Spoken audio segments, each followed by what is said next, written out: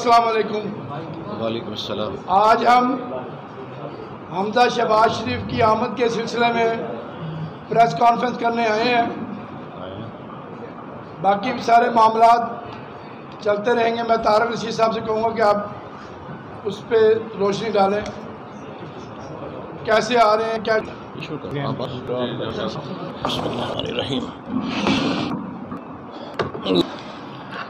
बसमीम सबसे पहले मैं आप सबका इंतहाई मशहूर हूँ कि वो नई दिया और तशरीफ़ लाए हैं। आज हुकूमत के चल चलावत है और जो हालात पाकिस्तान में पैदा कर दिए हैं, मैं की शक्ल में पेट्रोल की आसमान को छूती हुई कीमतों की में अभी 35 परसेंट गैस जो अब इन्होंने महँगी की है और अद्वियात की जो कीमतें हैं, वो आज 200 फ़ीसद बढ़ चुकी हैं। और अफसोस का मकाम ये है कि देखने वालों ने अपनी आँखों पर पट्टी बांधी हुई है और अंधेपन का मुजाहरा कर रहे हैं हमें उस वक्त से डरना चाहिए कि कहीं ये आँखें हमारी मुस्तकिल अंधेपन का शिकार ना हो जाएँ। आज जिस फर्म को ब्रॉडशीट को मियाँ नवाज़ शरीफ साहब से ढूँढने के लिए तीस मिलियन डॉलर दिए गए और वो ना निकाल सके, अब उन्होंने दो रोज कबल 12 मिलियन डॉलर मांगे हैं कि हमें और दें। हमारा तो खर्चा पास मिलियन डॉलर बनता है। तो कौन पूछे खां से तुम्हारे बाप का, जो तुमने उनको अदा किया? पचास मिलियन डॉलर और फिर देखें, अल्लाह पाक ने उसका कितना इनाम दिया इस कौम को कि इन्होंने लंदन में जो मियाँ शबाशी साहब के ख़िलाफ़, जो मियाँ सलमान शरीफ के ख़िलाफ़ जो केसेस फ़ाइल किए हुए थे मनी लॉन्ड्रिंग के हवाले से, उनमें बरतानवी अदालत ने अलहमदिल्ला मियाँ शबाज शरीफ साहब को बरी कर दिया। तो अब बाकी इनके पल्ले क्या बचता है? आज नैब जो है, सबसे निकम्मा इन इदारा बन पाकिस्तान का। जिसको सिवाय इल्ज़ाम लगाने के और मासूम लोगों को गिरफ़्तार करने के अलावा कोई काम बाकी नहीं है। जितनी कीमत मियाँ नवाज़ शरीफ, मियाँ शहबाज शरीफ, मरियम नवाज़ शरीफ और हमजा शहबाज शरीफ ने अदा की है इन तीन सालों के अंदर अपने जेल में रहकर पाकिस्तान की तिहत्तर साल तारीख में कोई तीन बार मुंतखब होने वाला वजी अजम ऐसी कीमत अदा नहीं कर सका। हमजा शहबाज शरीफ अभी 22 माह जेल काट के बाहर आया। कितनी बड़ी सजा, उनका जुर्म क्या था? कोई एक रुपया बरामद नहीं हुआ। जब मुशर्रफ का दौर था, तब भी उन्होंने दो ढाई साल जेल काटी। तो आज पाकिस्तान के लिए जितनी कुर्बानियाँ मियाँ नवाज़ शरीफ साहब दे रहे हैं, जितनी कुर्बानियाँ मियाँ शहबाज शरीफ साहब दे रहे हैं, उनका ख़ानदान दे रहा है, इसकी मिसाल पूरी दुनिया के अंदर नहीं मिलती है। कि अगर उन्होंने इस मुल्क पे हुक्मरानी की है तो आज वो उसकी कीमत भी अदा कर रहे हैं, अपने ऊपर इल्ज़ाम लगवा कर तो बाकी बातें जो है, वो बाकी दोस्त करेंगे क्योंकि इस तरह अगर लंबी होती गई तो बात बहुत ज़्यादा, मैं इन्हीं अल्फाज के साथ कि इन पाकिस्तान मुस्लिम लीग वाहिद जमात है, जिसका एक भी कारकुन अभी तक, एक भी रुकने असम्बली नहीं तोड़ नहीं तोड़ सके ये हुकूमत वाले। लाख कोशिशों के बावजूद तोड़ सके। और इन ये तोड़ भी नहीं पाएँगे इन हम सब मियाँ नवाशिफ के साथ हैं, उनका भरपूर तरीके से उनके साथ खड़े होंगे, और मियाँ नवाशिफ के बयानी को इन हम आगे बढ़ाएँगे।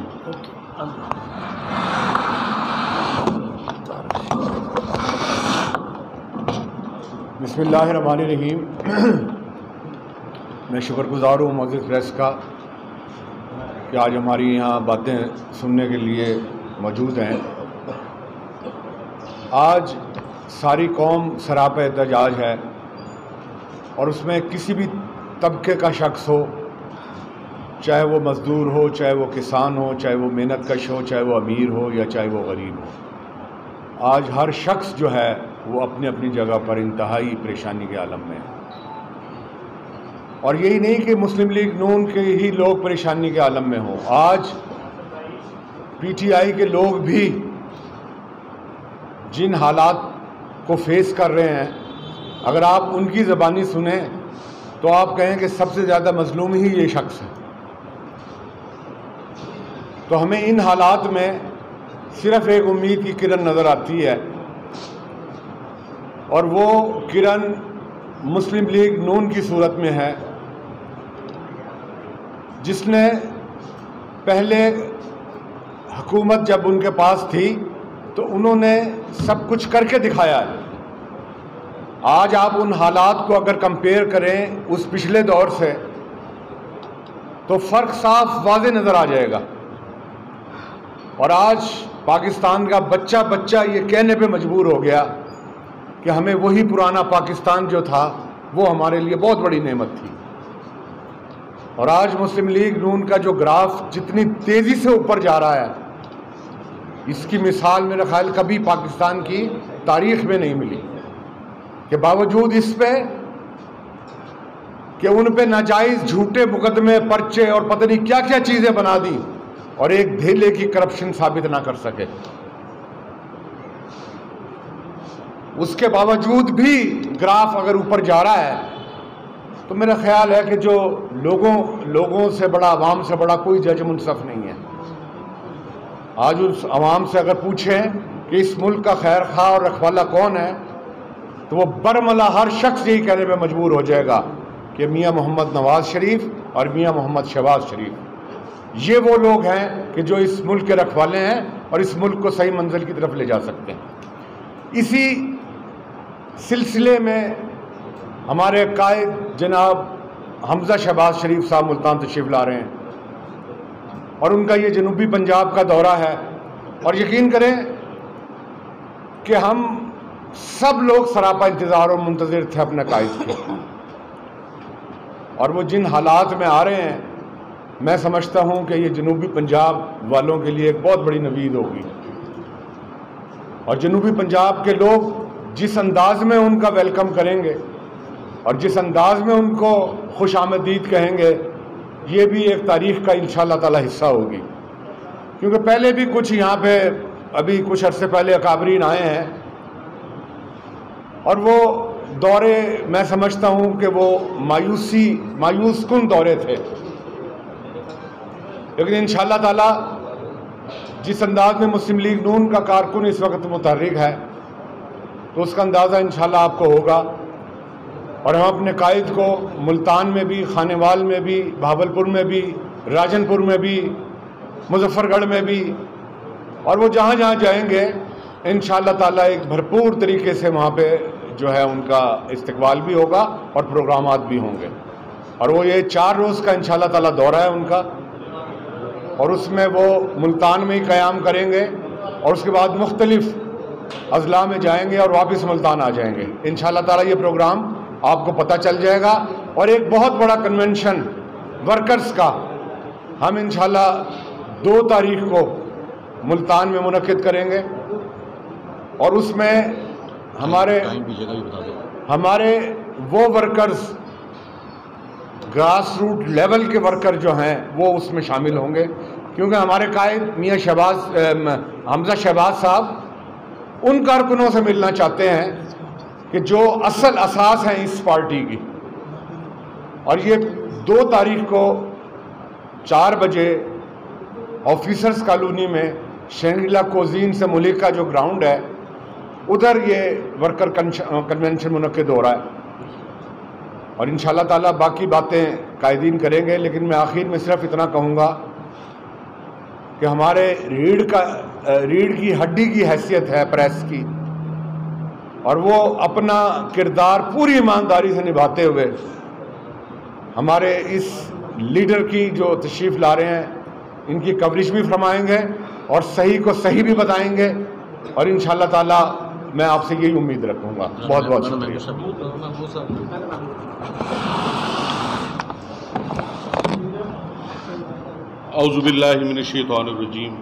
बसमीम तमाम प्रेस के दोस्तों असलकुम जैसे मुझसे मेरे फाजिल दोस्तों ने आपको बताया कि हमारे नौजवान कायद तशरीफ़ ला रहे हैं और वो जनूबी पंजाब के चार रोज़ा चार रोज़ा दौरा है तकरीबन। चार दिन वो साउथ पंजाब के तमाम अजला के अंदर वो जाएँगे तकरीबन, और कुछ शख्सियात जो हैं वो मुस्लिम लीग नून में शमूलियत भी इख्तियार करेंगी। तो और इस तरह से बहुत अरसे के बाद, क्योंकि वो ख़ुद भी बहुत अरसे से कैदोबंद की सहूबतों में थे, और बड़े अरसे के बाद जो है वो उनकी आमद हो रही है। तो यहाँ वर्कर उनके मुंतज़र थे, यहाँ की मकामी क़्यादत उनकी मुंतज़र थी तो तशरीफ़ ला रहे हैं। माजी भी हमारा आपके सामने है कि आपने देखा है कि हमने मुल्तान के लिए हमसे जो बन पड़ा है अल्हम्दुलिल्लाह हमने कोशिश की है और तिरतालीस साल के बाद हमने मुल्तान को चार नई यूनिवर्सिटियाँ दी हैं मुल्तान को। शहीद जुल्फ़ार अली भुट्टो साहब ने बाउदन जक्रिया यूनिवर्सिटी दी थी। उसके बाद हम वो लोग हैं, हम वो क़्यादत है जिन्होंने साउथ पंजाब को अलहमदिल्ला चार नई यूनिवर्सिटियाँ दी हैं। और मैं समझता हूँ कि तब्दीली जो है वो तालीम के ज़रिए से आएगी। नारों से नहीं आएगी, बातों से नहीं आएगी। और हमने अमली काम करके दिखाए हैं। हमने मेट्रो मुल्तान को दी है। हमने मुल्तान में शहबाज शरीफ हॉस्पिटल बनाया, चिल्ड्रन कॉम्प्लेक्स बनाया, किडनी हॉस्पिटल बनाया। बेशुमार हमारे प्रोग्राम हैं। मुल्तान से सखर की मोटरवे है, मुल्तान से लाहौर की मोटरवे है।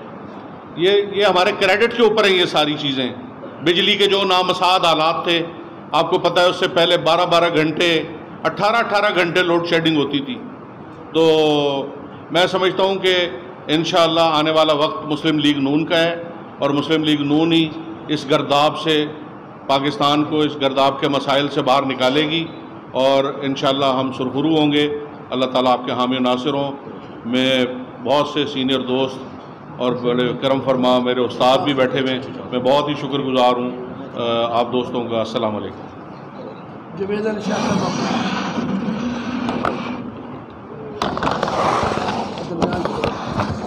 मैं सिर्फ़ एक बात करके शाह साहब को मैं कहूँगा वो बात करें। इतना बड़ा जुल्म इस मुल्क पे किया गया है कि पिछले तिहत्तर साल में पाकिस्तान का जो कर्ज़ा था वो पच्चीस हज़ार अरब था तिहत्तर साल के अंदर। और इन तीन सालों में पाकिस्तान का कर्ज़ा सैतालीस हज़ार अरब पे पहुँच गया।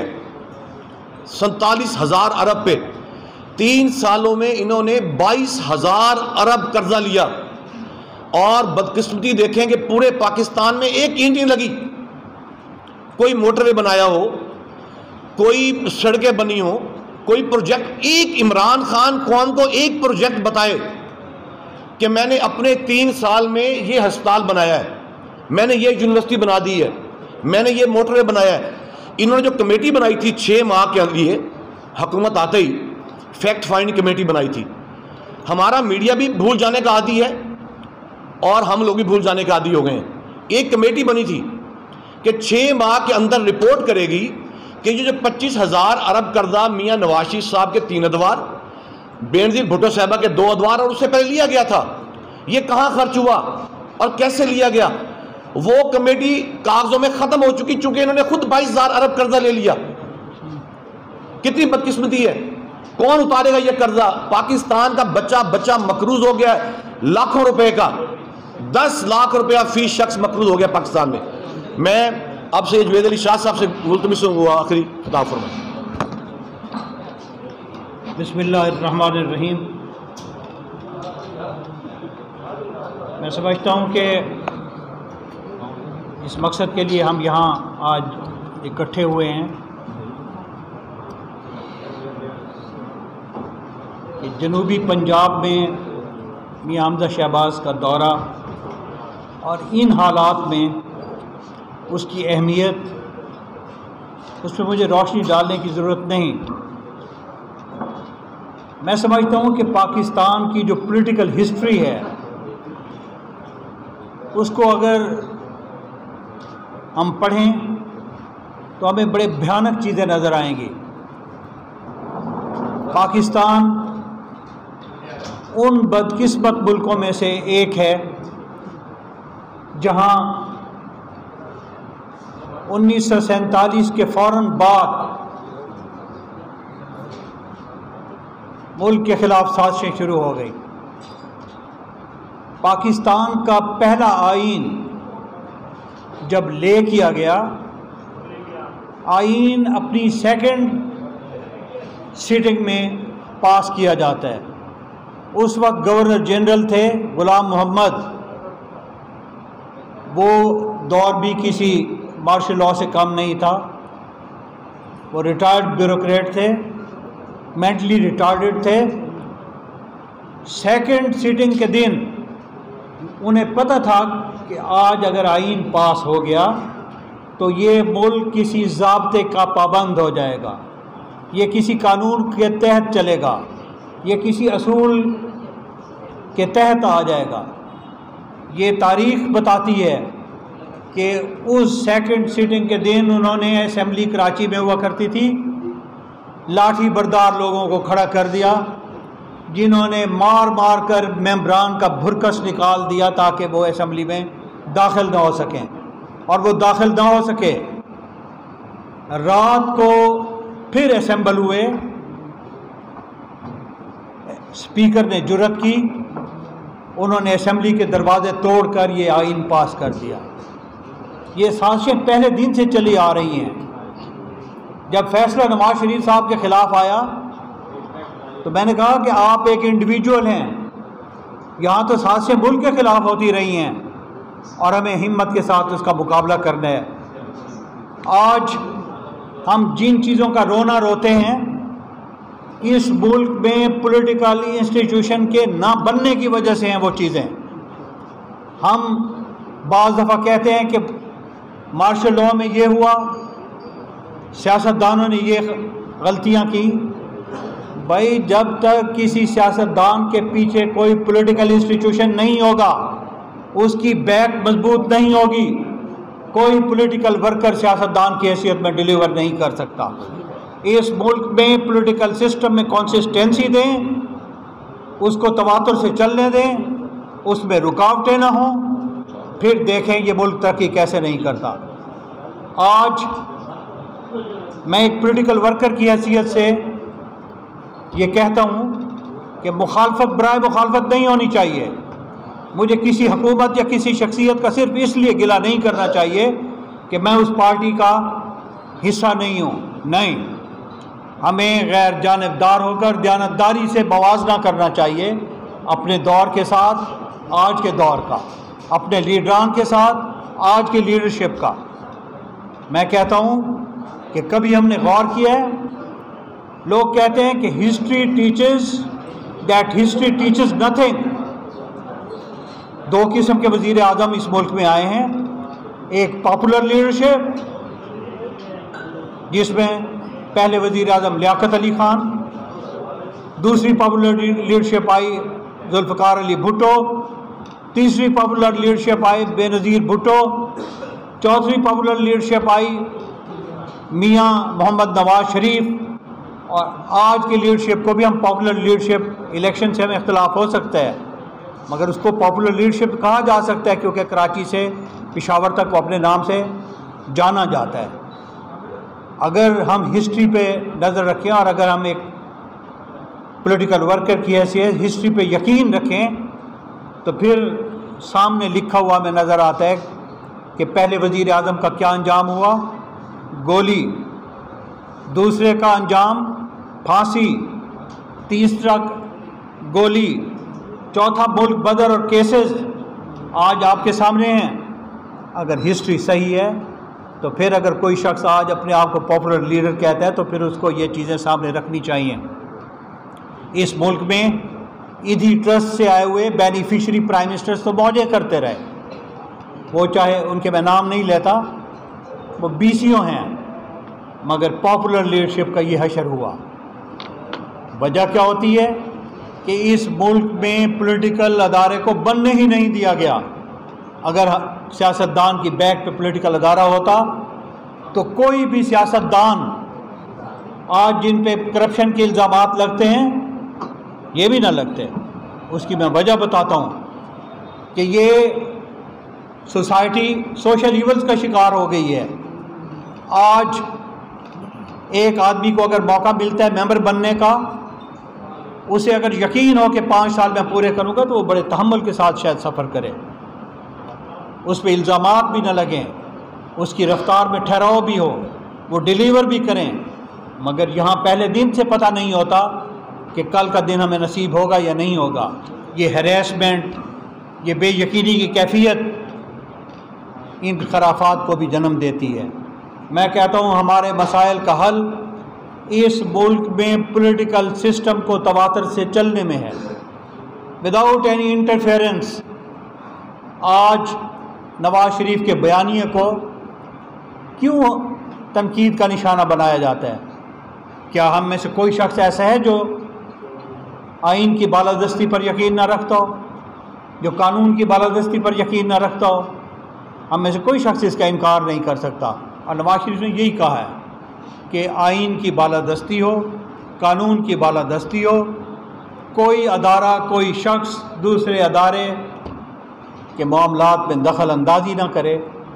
मैं समझता हूँ कि बड़ा ही सिंपल सा फार्मूला है। अगर इस पर आज भी अमल कर दिया जाए तो पाकिस्तान दुनिया की इंतहाई खूबसूरत स्टेट में से एक होगा। कोई भी रियासत हकूमत इसलिए बनाती है, मैं समझता हूँ उसके और भी बहुत से काम होंगे, मगर जो प्राइम रिस्पॉन्सिबिलिटीज़ हैं, वो मेरे ख्याल में दो हैं, कि रोटी और रोज़गार के मौाक़े फराहम करे, लोगों को महँगाई से बचाए और लोगों को इंसाफ मुहैया करे। आज मुस्लिम लीग की क़्यादत का जनूबी पंजाब में ये दौरा इसी मकसद के लिए है कि हम हकूमत वक्त को एक्सपोज करें कि उन्होंने आने से पहले आइडियलिज़म की बातें की थी सपने दिखाए थे, ख्वाब दिखाए थे, मगर नतीजा क्या निकला? कि मुझे ईमानदारी से कोई शख्स यहाँ उठ के कह दे कि इस हकूमत ने ये काम जिसे हम एक बड़ा काम कहते हैं इस दौर में किया है। अजीब हालत है कि इवन मुल्क की सतह पर तो आपके सामने है कॉन्स्टिट्यूंसीज लेवल पर भी उन्हीं मंसूबों की बार बार फटियाँ लगाई जा रही हैं जो हमने मुकम्मल की है। मैं आज बरबला कहता हूँ कि ये हुकूमत पिछले दिनों में टी वी प्रोग्राम में देख रहा था तो बड़ी अचीवमेंट के तौर पे कह रहे थे कि हमने हेल्थ कार्ड जारी किए मैं चैलेंज करके कहता हूँ कि आप रिकॉर्ड उठा के देख लें, मेरे हलके में उस दौर में ये हमारी स्कीम थी और पैंसठ हज़ार कार्ड हमने अपने हाथों से तकसीम कर दिया था। उसके बाद हमारी हुकूमत ना रही, उस पर अमल दरामद ना हो सका, मगर ये मनसूबा भी हमारा था, ये सोच भी हमारी थी, और इसका आगाज़ भी मेरे हलके से पैंसठ हज़ार लोगों में ये कार्ड, पैंसठ हज़ार लोग छुपने वाली चीज़ नहीं होते। इस तरह की बीसियों चीज़ें हैं। यहाँ अगर हमने कुछ भी ना किया हो हम बड़े दावे के साथ ये कह सकते हैं कि इस मुल्क का, उस वक्त सबसे बड़ा मसला लोड शेडिंग था। हमारी हुकूमत पिछली लोड शेडिंग के ख़ात्मे के को करके गई। इसी तरह मोटरवेज़ यूनिवर्सिटीज़, हॉस्पिटल्स, मैं कहता हूँ कि मियाँ मोहम्मद शहबाज शरीफ को लोग कहते थे कि ये एक मशीन है।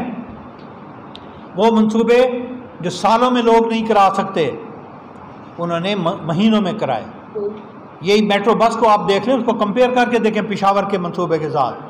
वही मंसूबा, वही चीज़, वही बनाने वाले बंदे यहाँ महीनों में बनती है एक चीज़, वहाँ कई सालों में बनती है।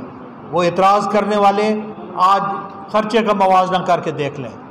मैं समझता हूँ कि जनूबी पंजाब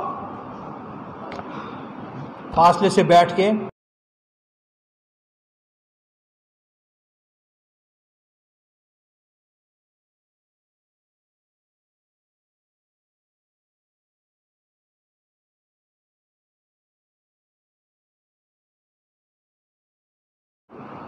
मैं कहता हूँ कि ज़रा आराम से, ठंडे दिल से इसका जायज़ा लें।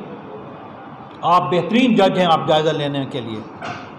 जो यलगार पिछले इलेक्शन में जनूबी पंजाब पर हुई, वो यलगार पाकिस्तान के किसी और हिस्से में नहीं हुई।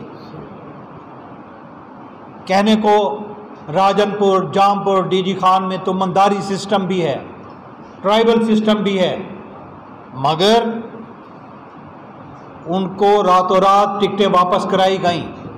ये खौफ दिलाकर कि अगर तुमने टिकट वापस न की तो आपका नाम सहूलतकारों में होगा। तो मैं समझता हूँ, इन हालात में कौन अपने पाँव पे किस तरह खड़ा होता है, ये एक बहुत बड़ा इम्तिहान होता है। लोगों ने टिकटें रात रात वापस की। बाकी रही सही कसर, आप किसी हल्के के रिज़ल्ट को उठा के खुद उसको देख लें कि रिज़ल्ट क्या थे और नतज क्या निकले। यहाँ बड़ी बड़ी शख्सियतें जिनके नाम लिखते हुए पूरा एक हफ़्ता लगता है, वो भी एजेंसियों के हाथ में खेलती रहीं। उनके कहने पे इलेक्शन लड़ी, उन्हीं की उम्मीद पर इलेक्शन लड़ी, मगर उन्हें भी उस रात पता चला जब नतीजा उनके बरक्स पीटीआई के हक़ में निकाला गया। मैं समझता हूँ कि यहाँ सियासी सफ़र करने वाले भी सियासी अदराक इसलिए नहीं रखते कि उनकी ग्रूमिंग सियासी माहौल में नहीं हुई होती।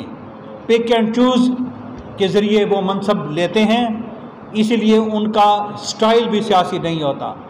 यहाँ का सियासतदान शायद उस तरह डिलीवर भी नहीं कर सकता जिस तरह उसे करना चाहिए। इस दौरे में इन पूरे जनूबी पंजाब में मियाँ शहबाज शरीफ भी आते रहते हैं और मियाँ हमज़ा को हम लेकर जाएँगे और गली गली में इस हकूमत को एक्सपोज करेंगे। अपना सियासी पैगाम, नवाज़ शरीफ का बयानिया, मियाँ शहबाज की सोच सब लोगों के सामने रखेंगे और इन एक पॉलिटिकल वर्कर की हैसियत से ये भी मैं कह सकता हूँ कि आने वाले इलेक्शन में कोई ज़रूरत नहीं कर सकेगा धांधली करने की। ये आप लिख लें, मैं एक पॉलिटिकल वर्कर हूँ। और इस कॉरिडोर में मुझे भी पैंतीस साल हो गए हैं। मैंने और शायद कुछ हासिल किया है या नहीं किया, मगर तजर्बा मेरे पास भी वाफिर है।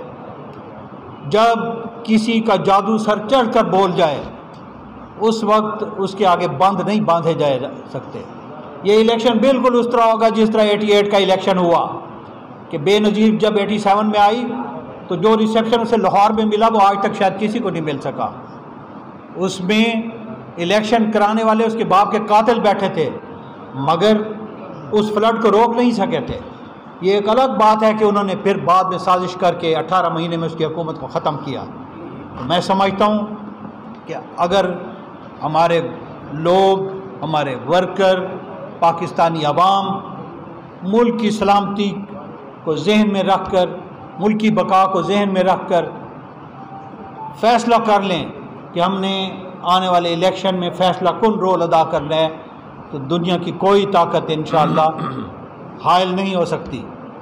हम मियाँ हमजा शहबाज के साथ इन गली गली में मुस्लिम लीग का पैगाम पहुँचाएँगे और इस इलाके की, इस खत्े की सोच को उजागर करेंगे और अगले अपने सियासी अज़ाइम या सफ़र का जो हमारा इरादा है, वो हम लोगों पर वाजे करेंगे। आपसे ये अपील है कि आप हमेशा हर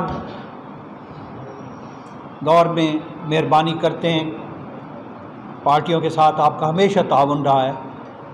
हमारी सही चीज़ों को आप उजागर करेंगे और हमारी सोच को फैलाने में आप हमारी मदद करेंगे। इन चार दिन के इस दौरे में बहुत सी कई मरतबा बातें होंगी। हमारी लीडरशिप के साथ बातें होंगी, बाकी लोगों के साथ बातें होंगी। कई चीज़ें नई आपके सामने आएँगी। इन्हीं अल्फाज के साथ मैं आपका शुक्रिया अदा करता हूँ कि आपने सवाल तो ले लीजिए। अगर कोई सवाल है तो आप ज़रूर करें।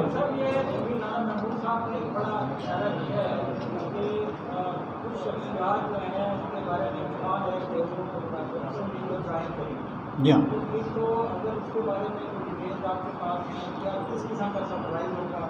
दूसरी बात यह कि इस खत्े में आने वाले हर अज़ कम अपनी जो पहली आवाज़ होती है, उसमें साउथ पंजाब सूबे की बात की है।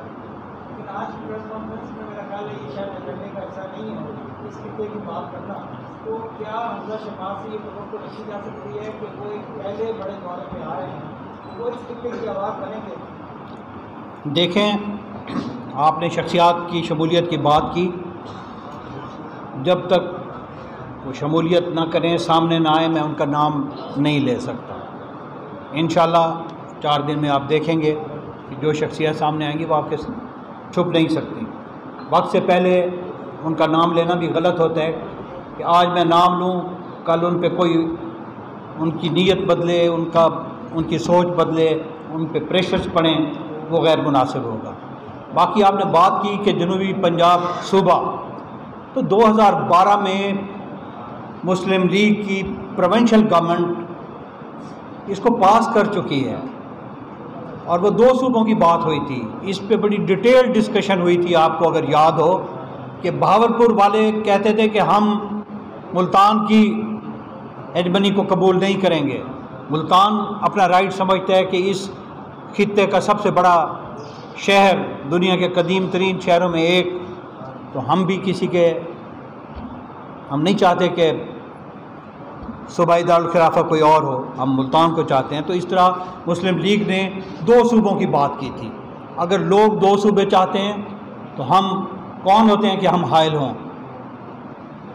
इन जब कभी मौका आया तो उसी रेजोल्यूशन को हम आगे ले कर चलेंगे। हमारी लीडरशिप आएगी तो इन आप उनसे भी बातें करेंगे। मज़ीद यकीन दहानी आपको वो करवाएँगे। मेरे पास इस वक्त कहने के लिए इतने ही अल्फाज। इलेक्शन हुआ है इसमें मुस्लिम ग्रुप जो है, वो शदीद नाकामी से दो हुई है कि बाकी कंटोनमेंट्स के इलाके में नून लीग के टिकट पर उम्मीदवार देते हैं। यहाँ आप अपने कैंडिडेट खड़े ही नहीं कर सके, अगर जिनको खड़ा किया गया है, उसके लिए मौसम कंपेन ही नहीं चला सके। आप भी नज़र नहीं आए और आप इसके अलावा पहुँच जो आपकी, यहाँ की मकामी क्यादत है वो भी उनकी कंपेन के लिए नज़र है, इसकी क्या वजह है? न्याय साहब ये कहना कि मुस्लिम लीग इस इलेक्शन में मुल्तान में नाकाम हुई है। आप मुझे बता देंगे कौन सी पार्टी फिर कामयाब हुई है? सुने सुने। एक हमारा जीता है किसी दूसरी जमात का कोई एक दिखा दें।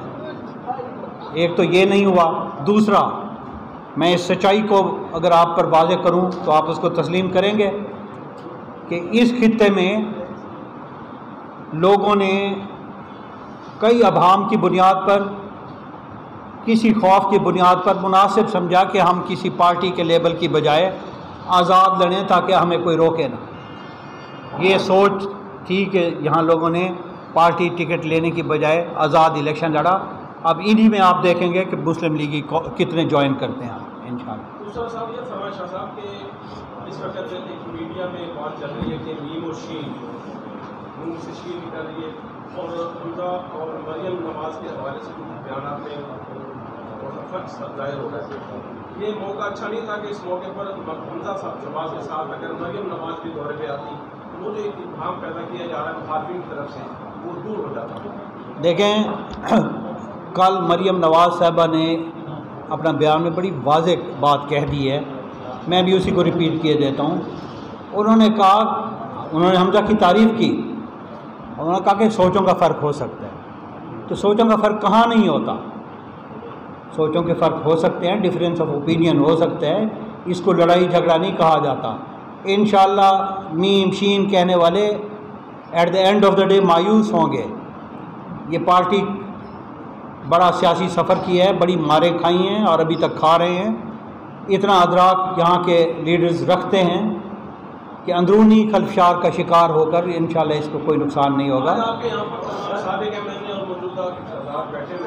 आपके जो मौजूदा एम पी हैं वो यहाँ पे नज़र नहीं आ रहे हैं। वो किसी की वजह से नहीं आए या बाबा यहाँ किसी को नहीं रोका गया। यहाँ सारे ही एम एन ए हैं सारे ही एम पी हैं। कोई नहीं आ सका तो उसकी अपनी कोई वजह होगी। कोई आ गया तो उसकी अपनी फरागत होगी।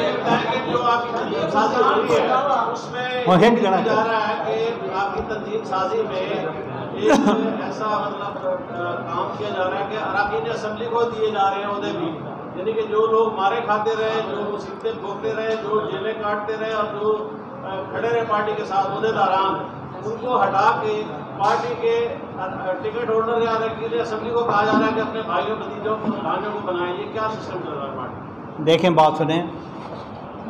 ऐसी कोई बात नहीं। वही तंजीमें नए लोग आप देख लेंगे कि आएँगे, जब सामने तो आप उसमें ये चुन लेना कि कौन भतीजा है कौन भांजा है, ऐसी कोई बात नहीं। बाकी ये इल्ज़ाम तो सियासतदानों पर वैसे ही लगते हैं कि जी फ़लाँ का बेटा, फ़लाँ का भाई तो ये किस मुल्क में नहीं होता जी, मुझे आप बताएँ।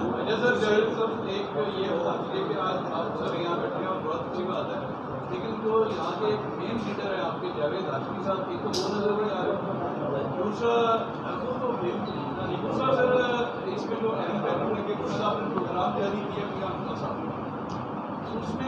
रहनुमाओं के सवाल वो जाना चाहिए सारे लेकिन उसमें जावेद का प्रोग्राम ही नहीं है। क्या वो वहाँ उनके भतीजे की और की फौज की जो किया? पिछले दिनों में वहाँ वो नहीं जा रहे देखें जावेद हाशमी और लीडरशिप मेरे ख्याल, हम दरमियान में कोई नहीं है। उन्होंने जाना है नहीं जाना, जब आएँगे तो फिर पता चलेगा। मुझे कोई पता नहीं, क्योंकि मैं इन यहाँ कोई ऐसा बंदा नहीं है जो किसी और की वकालत करके फातिया के लिए ले जाए वो जावेद हाशमी अपना एक नाम रखते हैं लीडरशिप के उनके साथ जो भी ताल्लुकात हैं उसके नतीजे में वो जाना चाहेंगे तो उन्हें कोई रोक नहीं सकता वो ना ना जाना चाहें तो उन्हें कोई मना नहीं सकता।